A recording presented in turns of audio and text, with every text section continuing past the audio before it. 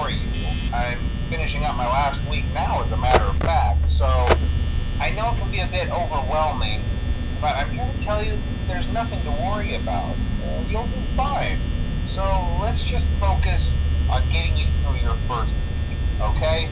Uh, let's see. First, there's an introductory greeting from the company that I'm supposed to read. Eh, It's kind of a legal thing, you know. Um, welcome to Freddy Fazbear's Pizza, a magical place for kids and grown-ups alike, where fantasy and fun come to life. Fazbear Entertainment is not responsible for damage to property or person. Upon discovering that damage or death has occurred, a missing person report will be filed within 90 days or as soon as property and premises have been thoroughly cleaned and bleached and the carpets have been replaced. Blah, blah, blah. Now, that might sound bad, I know, but there's really nothing to worry about. Uh, the animatronic characters here do get a bit quirky at night, but do I blame them? No. If I were forced to sing those same stupid songs for 20 years and I never got a bath, I'd probably be a bit irritable at night too. So remember, these characters hold a special place in the hearts of children and we need to show them a little respect, right? Okay. So just be aware, the characters do tend to wander a bit. Uh, they're left in some kind of free roaming mode at night. Something about their servos locking up. They get turned off for too long. Uh, they used to be allowed to walk around during the day too, but then there was the bite of 87. Yeah. It's amazing that the human body can live without the frontal lobe, you know? Uh, now, concerning your safety, the only real risk to you as a night watchman here, if any, is the fact that these characters, uh, if they happen to see you after hours, probably won't recognize you as a person. They'll, they'll most likely see you as a metal endoskeleton without its costume on. Now, since that's against the rules here at Freddy Fazbear's Pizza, they'll probably try to forcefully stuff you inside a Freddy Fazbear suit. Um, now, that wouldn't be so bad if the suits themselves weren't filled with cross beams, wired, and animatronic devices, especially around the facial area. So you can imagine how having your head forcefully pressed inside one of those could cause a bit of discomfort and death. Uh, the only parts of you that would likely see the light of day again would be your eyeballs and teeth that pop out the front of the mask. yeah, they don't tell you these things when you sign up. But hey, first station of the breeze. I'll chat with you tomorrow. Uh, check those cameras and remember to close the doors only if absolutely necessary. Gotta conserve power. Alright, good night.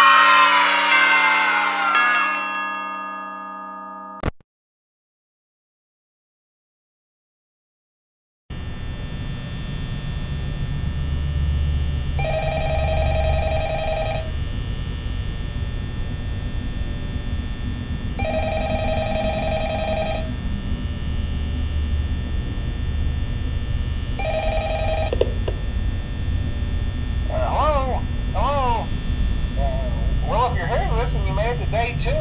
Uh, congrats. I, I won't talk quite as long this time since Freddy and his friends tend to become more active as the week progresses.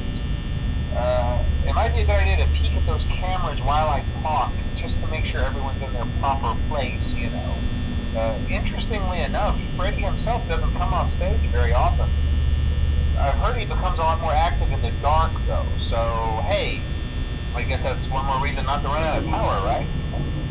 Uh, I also want to emphasize the importance of using your door lights.